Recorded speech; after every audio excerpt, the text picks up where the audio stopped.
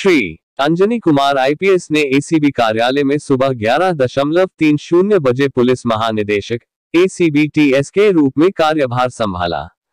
आप देख रहे हो एच न्यूज़ पे अहमद की खास रिपोर्ट।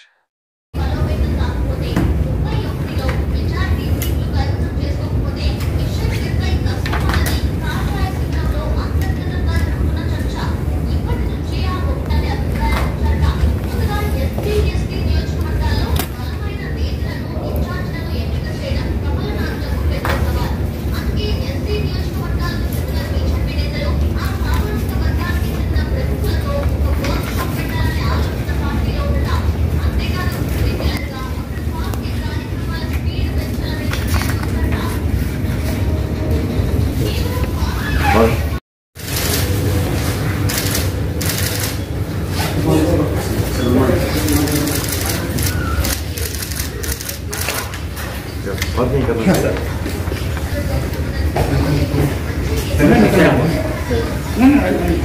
और नहीं करना हाँ सर।